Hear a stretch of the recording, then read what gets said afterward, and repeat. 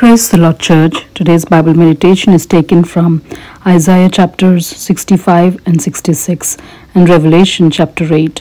If you're new to Living God family, a very warm welcome to you in Jesus' name. Hope this video will be a blessing to you as you hear and listen to the thoughts as we read through the Bible together. I encourage you to read the chapters during your personal devotion time and become recipients of listening to God's voice daily. Isaiah chapter 66, verse 13 As one whom his mother comforts, so I will comfort you, and you shall be comforted in Jerusalem.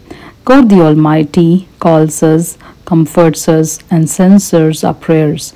God is calling each of us into his fold, and when we respond to his call, he will comfort us like a mother.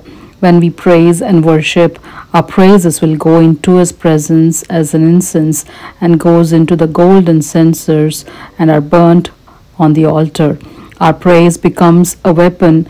As praises rise up, God will reply to those that come near His children with lightnings, calamities, and destruction for he is the God of vengeance. He will fight our battles. All that we need to do is praise him with all our heart and walk with him daily through Jesus Christ, our Lord and Savior. As we read in Revelation chapter 8, verses 1 through 6, when he opened the seventh seal, there was silence in heaven for about half an hour. And I saw the seven angels who stand before God, and to them were given seven trumpets. Then another angel having a golden censer, came and stood at the altar.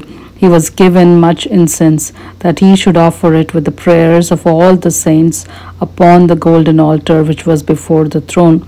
And the smoke of the incense with the prayers of the saints ascended before God from the angel's hand. Then the angel took the censer, filled it with fire from the altar, and threw it to the earth. And there were noises, thunderings, lightnings, and an earthquake. So the seven angels who had the seven trumpets prepared themselves to sound. Praise be to our wonder working God. In Jesus' name, amen. Thank you for the privilege of your time in watching the videos and being part of Living God community. God bless you all abundantly as we are all created to be holy and happy in Christ Jesus. Amen.